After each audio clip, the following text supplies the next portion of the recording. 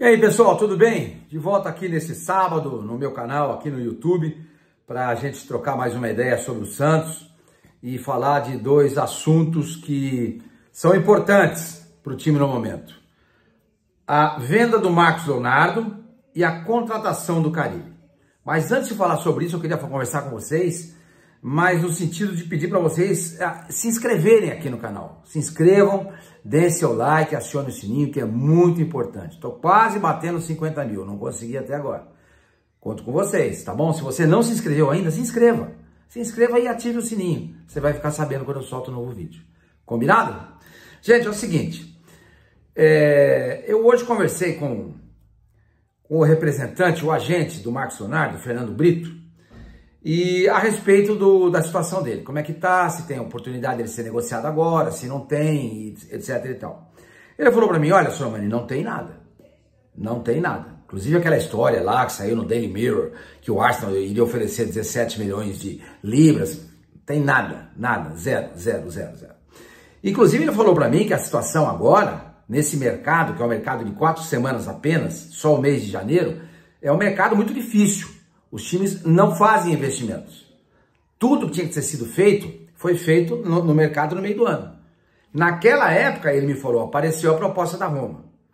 Aí eu falei para ele, pô, mas também, Fernando, 8 milhões de, de euros pelo Marcos Leonardo era pouco. Não foi 8? Ele falou para mim. Quem te falou que foi? falei, ah, todo mundo noticiou que foi 8. não foi, não. Foram 18 milhões de euros. 18, eu falei. Ele falou, é, 18 milhões. E por que, que o Santos não vendeu? Não sei. A justificativa que eles deram para mim foi que, que, tinham vendido o Ângelo e o, e o David Washington e não tinha como sair o Marcos Leonardo também. Faz sentido. Faz sentido. Mas o que não faz sentido é o Santos ter anunciado que a proposta por, pelo Marcos Leonardo foi de 8 milhões de euros. Não foi. O Fernando falou para mim, pode falar. A proposta da Roma por ele era de 18 milhões de euros. Falei, bom, agora no final do ano, então, vem a proposta, né? Nessa, nessa janela de janeiro. Eu falo assim, difícil, companheiro, muito difícil. E nem os 18 milhões vem mais. Porque qualquer conversa que você tenha nesse sentido, de negociar um jogador do Santos, no caso o Marcos Leonardo, o valor dele cai. Cai por conta do rebaixamento do Santos. O jogador está desvalorizado. Os ativos do Santos estão, nesse momento, desvalorizados. Dificilmente o Santos vai conseguir pegar pelo jogador o que ele quer. Não vai pegar. Entendeu? Então é, é, uma situação dramática. Eu também não teria vendido o Marcos Leonardo depois de ter vendido o Ângelo e o David Washington. Só que eu teria vendido o Marcos Leonardo e não o David Washington. Mas por que, que aconteceu isso? Porque o Rueda come na mão do, do Giovanni Bertolucci. O Bertolucci vai lá e come. O Bertolucci era o agente do, tanto do Ângelo quanto do David Washington. Ele precisava vender. Precisava vender. Tinha lá compromissos com os caras. Então, o que foi? O que, ele, que, ele fez? Foi lá, conversou com o Rueda, e ele tem muita influência em cima do Rueda. Rueda, repito, come na mão do, do Bertolucci e vendeu. O David Washington podia estar no Santos hoje. Podia estar lá. Não ganhava muito, não amolava e era bem melhor do que o Marcos Leonardo. O Marcos Leonardo poderia ter saído por 18, o Ângelo por 15 teria dado 33 milhões. E agora, no final do ano, podia negociar ou não o David Washington, porque não ia fazer, não ia onerar em nada a folha de pagamento do salário do David Washington, nem um pouco. O do Marcos Leonardo onera. Ele já ganha mais, entendeu? É mais complicado. Mas, enfim, essa é a situação. Fernando Brito, portanto, repito, o agente, o empresário do Marcos Leonardo, conversei com ele na tarde desse sábado, ele falou isso para mim, senhor Mani, não tem nada. E acho muito difícil. Tô, estou trabalhando porque o Santos precisa de dinheiro e o menino precisa sair porque ele quer alçar voos na Europa. Entendeu? Em relação ao Carilli, eu tinha dado uma, uma informação para vocês dois, dois vídeos atrás dizendo que o Carilli tinha dito não. E ele disse não para o Santos. Disse. Só que ele disse não foi pro Fernando Silva ou pro Galo, sei lá para quem, não foi pro Marcelo Teixeira. Ele disse o seguinte: olha, vocês demoraram eu já me comprometi com o time japonês, vou voltar. Vou voltar. Entendeu? Então, ele falou: não tem jeito, eu já dei a minha palavra lá. Como é que faz? Não, não, faz. Não faz, não, não, não tem como aceitar. Mas aí o Marcelo Teixeira entrou no circuito. Aí tem outro peso, né? Uma coisa é você falar com o Fernando Silva, com o Galo, com o Léo, ou com o Elano, seja lá com quem for. Outra coisa é você falar com o Marcelo Teixeira, que é o presidente do Santos, que é quem de fato manda. E o Marcelo Teixeira, sedutor que é, foi lá e fez a cabeça do Carilli.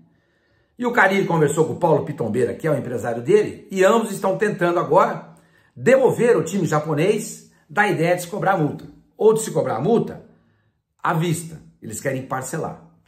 Essa multa do, do Carilli é uma multa que gira em torno de 7 milhões e meio de reais. É muita coisa. É muita coisa. Aí eu pergunto para vocês, vale a pena? Vale a pena pagar tudo isso por um treinador? Bom, se for um treinador é, da primeira prateleira do, do futebol brasileiro, acho que vale você pagar 7 milhões e meio para tê-lo ao seu lado. Não é o caso do Carilli. Acho que o Carilli seria muito interessante para o Santos, desde que não custasse isso que custa. Custando tudo isso, esquece. Esquece. Entendeu? Ele não é a primeira prateleira. E você tem aí no mercado, sem ter que pagar nada para quebrar multa, o Luxemburgo, que eu já falei para vocês. Tá aí. Vocês veem diferença do, do Vanderlei para o Carilli? Fala a verdade. Vocês veem diferença? Eu não vejo. Para mim, é a mesma coisa. Olha, o Vanderlei é melhor que o Carilli, hein? O Vanderlei é melhor. O Carilli não está nem na, na, na, na J-League, que é a Japan League, que é a principal liga de futebol do, do Japão. Não, ele está na segunda divisão. Ele está na segunda divisão. E terminou o campeonato passado no modesto sétimo lugar. No modesto sétimo lugar. E aí eu estou dando uma olhada aqui no, no, no Twitter, né, no X, né, agora, do meu amigo Vitor Hugo, que trabalha com a Ademir Quintino. E ele postou aqui o aproveitamento do Carilli nessa temporada que passou no Japão, na Série B. Não é Série A não, hein? É Série B. O time do Carilli, o time do Carilli, que é o Vevaren Kawasaki, ele acabou, repito, em sétimo lugar no campeonato, com um aproveitamento de modestos 46,5%. 40, não, deu, não bateu 50%. Não, não teria passado de ano. Sabe qual foi o aproveitamento, o, o desempenho? 23 vitórias, 22 derrotas e 17 empates. 23 vitórias, 22 derrotas com 17 empates. Vocês acham que isso é um aproveitamento legal? Eu não acho. Eu não acho. Eu acho que isso é um, um aproveitamento bem modesto. Aliás, aliás, eu estou até dando uma olhada aqui. Esse aproveitamento na Série B, recém-encerrada, de 46 46,5%, seria um aproveitamento que o Santos ficaria na 11ª colocação, não subiria. Não subiria. Por quê? O Vitória subiu com um aproveitamento de 63%. O Juventude ficou em segundo lugar com 57%. Em terceiro, o Criciúma com 56%. E em quarto, o Atlético Goianiense com 56% também. Quem terminou na décima colocação foi o Guarani, com 50%. Na décima primeira colocação foi o Ceará com 43%. Então o Santos ficaria, se fosse um desempenho semelhante nas mãos do Carilho na Série B, na décima primeira colocação, ou seja, não subiria. Não subiria.